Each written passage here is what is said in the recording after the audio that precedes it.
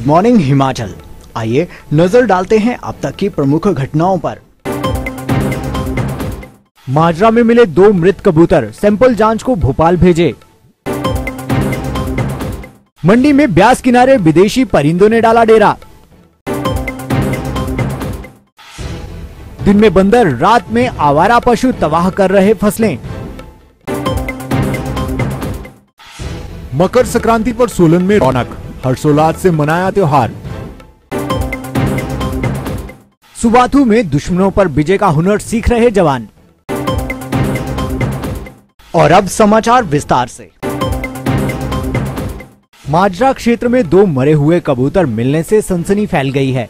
मौके पर विभाग की टीम पहुँच गई है तथा मरे हुए कबूतरों के सैंपल जाँच के लिए भोपाल लैब में भेजने की तैयारी की जा रही है। वहीं देश भर में बर्ड फ्लू का कहर है। ऐसे में कबूतरों के मरने से माजरा में भी बर्ड फ्लू की आहट दिख रही है। वहीं आसपास के लोगों में सनसनी फैली हुई है कि क्या माजरा में भी बर्ड फ्लू का कहर आ गया है, जिसके कारण दो कबूतर यहाँ पर मरे हुए मिले हैं। ठंड बढ़ने से ब्यास नदी में दर्जन से अधिक विदेशी परिंदों की प्रजातियों ने दस्तक दे दी है और कुछ परिंदे यहीं डेरा डाले हुए हैं। इस बार हेडेड गीज और ग्रे लैग परिंदों ने पहली बार ब्यास नदी में दस्तक दी है। DFO Mandi S S Kashyap ने बताया कि विदेशी परिंदे ब्यास, नलसर, रिवालसर व सुंदरनगर झील में आए हैं। इनमें common pochard pintail shoveler cormorants common teal व साइबेरियन शामिल हैं। ब्यास में केवल चार ही प्रकार के परिंदे आए हैं। उन्होंने कहा कि बर्ड फ्लू की दस्तक से वन्य प्राणी विभाग भी सतर्क हो चुका है और इन पर निरंतर नज़र बनाए हुए है। जैसा कि आप जानते हैं कि हर वर्ष सर्दियों में मंडी में विदेशी परिंदे जो आते हैं। इस बार भी मंडी में जो परिंदे आए हैं, उसमें बार हेडेड गूस है, ग्रे लेग है, कॉमन पोचार्ड है और रेड सेलडॉक है। इसके अलावा लोकल परिंदे भी इसमें हैं। जिनकी सुरक्षा का वन विभाग ने पूरा प्रबंध किया है। हमारी जो टीम्स हैं, वो लगातार गश्त कर रही हैं। और हमने फ्लाइंग स्क्वाड भी एक टीम का गठन किया है जो कि इनके ऊपर पूरी चौकसी रख रहे हैं ताकि इनका किसी भी तरह का कोई अवैध शिकार ना हो।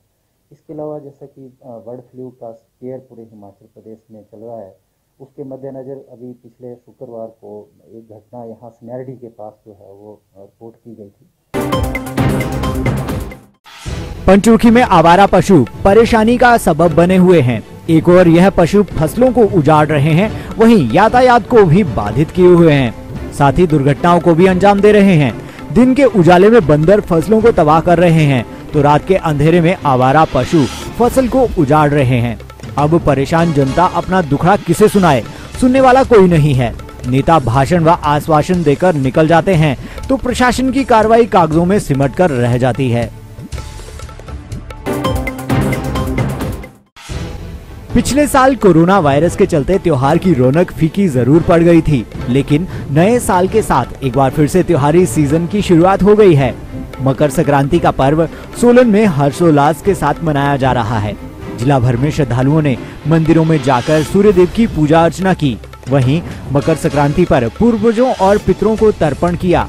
बता दें कि मकर संक्रांति का त्योहार मौसम बदलने का भी संकेत देता है। सर्दी के बाद मकर संक्रांति से बसंत के आगमन का इशारा मिलता है।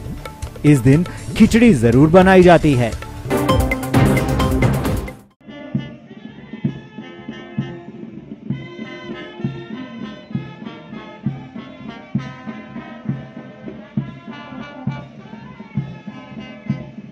कुमाऊं रेजिमेंट के एक सौ उनचास जवानों ने 14 जीटीसी में 32 सप्ताह की कड़ी ट्रेनिंग के बाद गुरुवार को सेना के सलारिया मैदान में मार्च पास्ट के दौरान ब्रिगेडियर एच एस संधू को सलामी दी।